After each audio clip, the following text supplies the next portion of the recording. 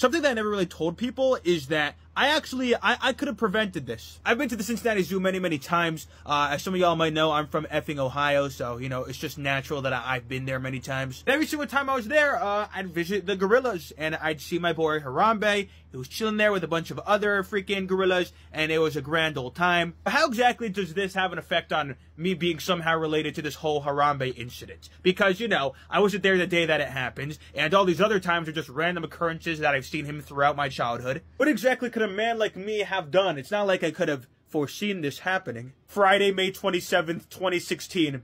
My school decided to take a trip to the Cincinnati Zoo so that we could study the animals. I was there having a grand old time, but I knew something was off. The gorilla exhibit showcasing all the gorillas, including yours truly, Harambe, was not open.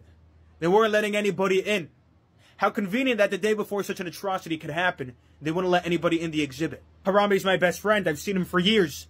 Why would he not let himself be seen by me on this particular day? I go home from the zoo, don't think much of it. The next day is the Sabbath, so I don't use the internet for the entire day. And once it's over, I look on the news and I find out that Harambe is gone. They finished him off. Pause. I could have done something. I was there. They didn't let me in. I could have saved him. A part of me feels like it wasn't supposed to happen that way.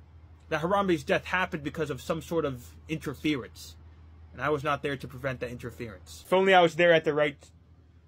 You know what? It's not good to reminisce on what could have been, but only on what could be. After the events of May 28th, I uh, I visited the exhibit. Here's a little video I made a while back um, of me mourning. I sit by myself, talking to